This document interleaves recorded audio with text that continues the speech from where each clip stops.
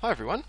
In this screencast I'm going to show you one of Storyline's variables known as the true-false variable and give you an example of how you could use a true-false variable in your projects. So I've got this little demo course set up here where I have three levels or topics, whatever you'd like to call them, and my level 2 and level 3 buttons are not working, but I can access my level 1. So I can go in and I can complete that level or topic, and now my level 2 button is working and I can go through and now my level 3 button is working. And when I finish the last topic or the last level then I get a message to tell me that I've finished the course. So what I'm going to do is I'm going to show you how you can go in and set that up. So here's a, uh, a starter uh, example of the same sort of thing where I've got a menu page and then I've got my three levels three topics set up and I've set up the triggers that will jump me to the different topics when I click each of the buttons and also when I'm on the last slide of every topic that it'll take me back to that main menu page.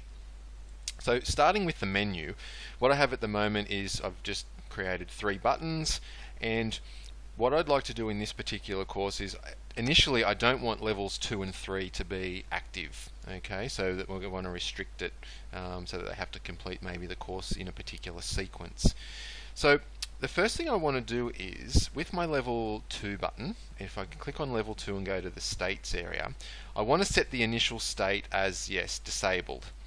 Uh, this means that the button initially won't be working. Now the problem with that is, if I pop my um, states panel out, is that the disabled button looks, looks exactly the same as the normal button. And for some people, they could think that there's something wrong with the course because even though it won't be working, the uh, the fact that it looks the same, they could think that there's a problem. So if ever I'm select uh, changing a button, sorry, to disabled, I also like to make it look a little bit different, so it's obvious that maybe that's why it's not working, that it looks different. So what I'm going to do is for this button, I'm going to edit the states, and then I'm going to make sure my disabled state is selected. Go to the Format tab, and in this case, I'll just change it to red. So because um, we're starting with the disabled state, uh, it will look red uh, on the slide. And then I can say done editing states. Then I can also make sure the same thing is done for my level 3 button so I'll change it to initially to be disabled and then I'll edit the state of disabled and make it red as well and say done and then I'm finished. So that's our, our buttons and our structure. Now the way it is at the moment those two buttons will stay in that particular state until we add a trigger to change the state of them to normal. But in this particular case, we only want the state of, say, level 2 to become normal when level 1 is completed. And the way we're going to do that is, is by using true-false variables. Now, compared to the other two variable types, text and number, they can be any value, any piece of any text value or any number value, but true false can only be either true or false, which makes it quite powerful. And when we use true false variables uh, in our courses, we need to do essentially three things. We need to create the variables in our course, we need to change them from one value to the other at some point, and then we need to use that information or the fact that it's changed from one to the other to make something else happen. So in this particular case, I'm actually going to need three true-false variables, one for every topic, so that when level 1 or topic 1's completed, I can use that information to make level 2 active, then level 2 completes, make level 3 active, and then when they're all complete, show that completion message. So the first thing I'm going to do is go to the Manage Project Variables tab over here in the trigger panel, over on the right, and open that up, and I'm actually going to add some variables, my three new variables, by clicking the plus symbol. So the first one I'm just going to call level 1 done. You can call them whatever you like, but it's going to be a true false and I like to start my true false variables in false and change them to true, but you can do true and change them to false. It's just a good idea to keep it consistent. So I'm going to say then OK to that, and I'm going to repeat that process for my other levels. Level 2 done, true, false, started as false, and finally level 3 done, true, false, initial value of false. So those variables will sit in the background of our project in the false uh, as false until we change them to true at some point. So we haven't yet used them in the course.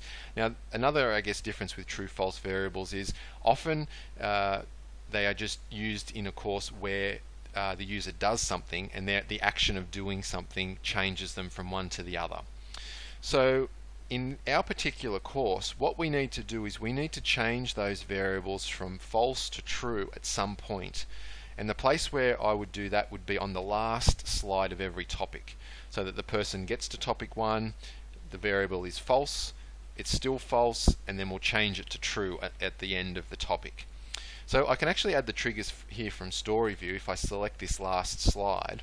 And if I add a new trigger, I can say that I want to adjust a variable and the variable I want to adjust is my level 1 done variable because I'm in level 1 and then I want to make it equal assignment or equal a value of it's already false of true when the timeline starts on that particular slide. Now some people would say shouldn't you do it when the timeline ends on that last slide? And you can. The, the risk of doing that though is that if the user can jump ahead or jump back to the main menu before the timeline ends, then the variable won't have changed from false to true.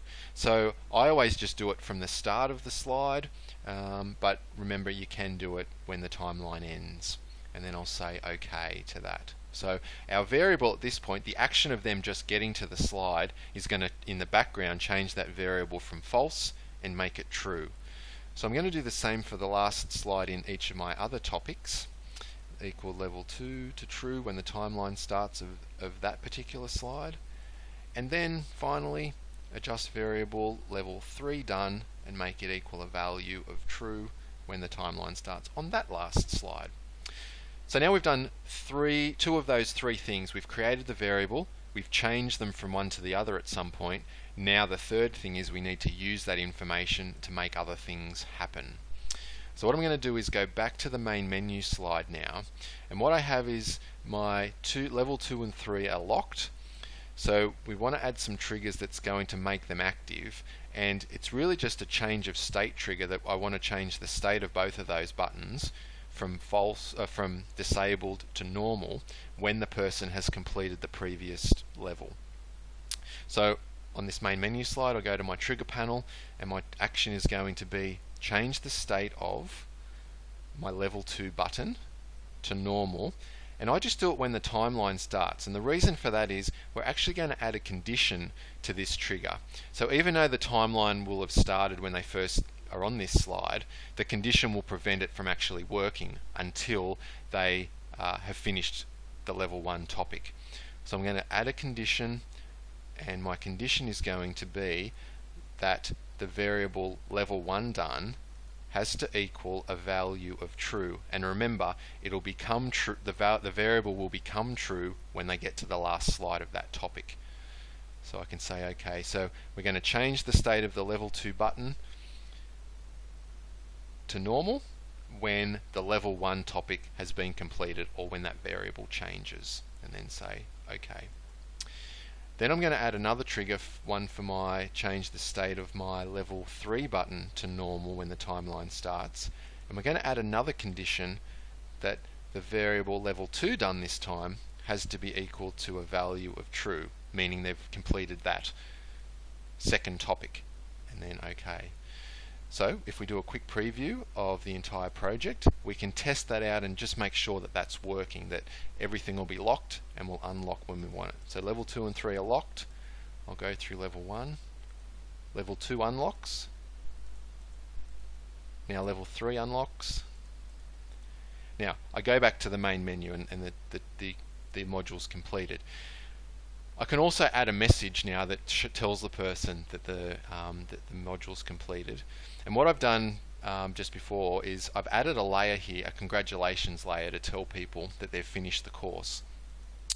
And what I'm going to do is I'm going to put on a show layer trigger onto this um, slide. So it's going to be show layer, our congrats layer, again when the timeline starts. But we're again going to add some conditions using that variable information. So my condition this time is going to be show the layer if level 1 the level 1 done variable is equal to true. But it's not just the level 1, remember it's all three. So we've got to add another condition to say and the level 2 variable has to be equal to true. And one more that the level 3 variable also has to be equal to true. So that layer is only going to show once all those variables have changed from false to true or once the topics have been completed. So I can say OK to that. And if we preview out this project, we can see all of that working. So level 1 completed, level 2 is active, level 3 is active, and there we have our message that we've finished the course. So there you have it. That's one way of using true-false variables in a course to restrict part of the navigation.